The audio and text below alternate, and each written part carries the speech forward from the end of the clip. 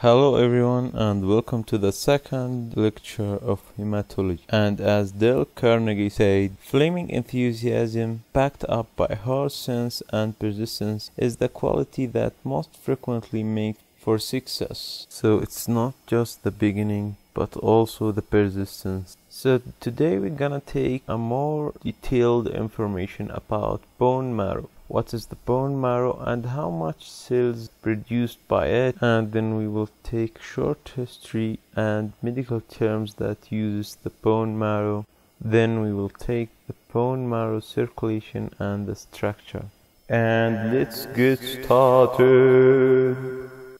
The bone marrow or medulla ossium in Latina is semi-solid tissue found within the spongy bone or cancellous portions of bones so as we can see here, the cancellous bone, which is also called trabecular bone or spongy bone, is a light porous bone enclosing numerous large spaces that give a honeycombed or spongy appearance. And this trabeculae actually arranged along lines of stress. And this spongy bone is usually surrounded by a shell of compact bone, which provides greater strength and rigidity.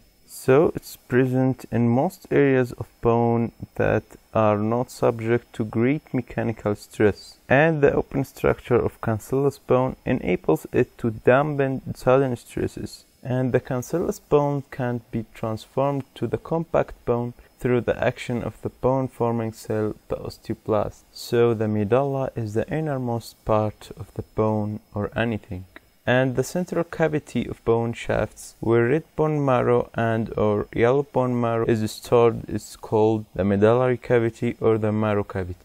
The bone marrow comprises approximately 5% of total body mass in healthy adult humans and approximately it's producing 500 billion blood cells per day and about 10 billion of erythrocytes and 1 billion of leukocytes are produced per hour in steady state. The bone marrow is the area that is involved in the formation of red blood cells and white blood cells and the calcium supply for bird eggshells. The area has been detected in fossil bones despite the fossilization process, and the medical term intramedullary means inside the bone. Examples include intramedullary rods, which is used to treat bone fractures in orthopedic surgery, and also intramedullary tumors occurring in some forms of cancer or benign tumors such as an enchondroma. So after we finish the bone marrow definition and the medical terms that use the word bone marrow, let's jump to the structure of the bone marrow. The composition of marrow is dynamic, composed of a mixture of cellular and non-cellular components, shifts with age and in response to systemic factors. And depending on the prevalence of the hematopoietic cells vis fat cells, the marrow characterized as red or yellow marrow, or medulla ossium rubra, or medulla ossium flava, respectively. And in circumstances of chronic hypoxia, the body can convert yellow marrow back to red marrow to increase blood cell production. As we can see in this lovely image, this is the spongy bone which is lined by a thin vascular membrane called endosteum and surrounded by compact bone and this is the red marrow and this is the yellow marrow. Okay, let's jump to the cellular part of the bone marrow.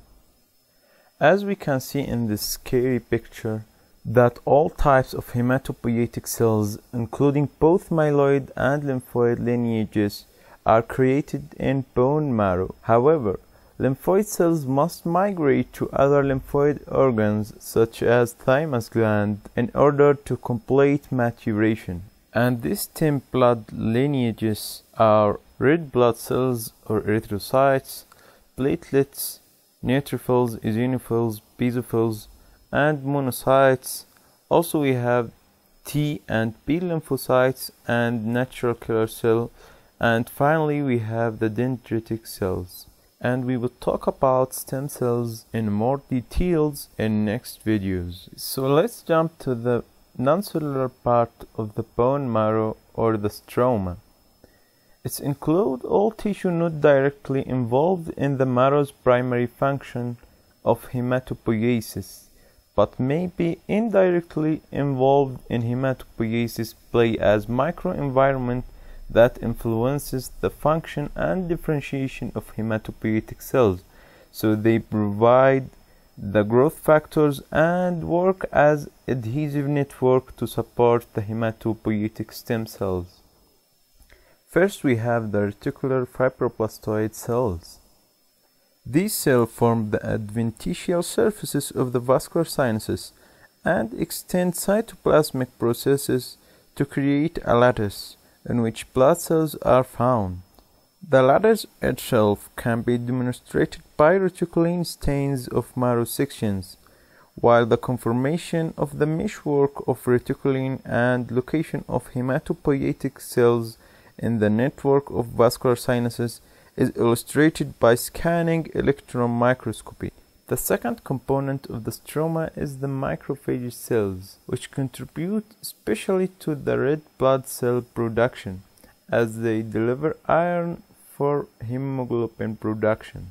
And we have the adipocytes or the fat cells and the osteoblasts which synthesize the bone and the osteoclasts which resorb bone and finally the endothelial cells which form the sinusoids. So the fibroblastoid cells give the adhesive network and with the endothelial cells and macrophages and T lymphocytes they provide the growth factors and cytokines which are important to the survival and proliferation and differentiation of hematopoietic stem cells.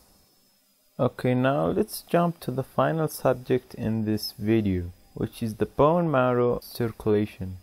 The marrow circulation compromises central and radial arteries that ramify in the cortical capillaries, then join the marrow sinusoids, and finally drain into the central sinus.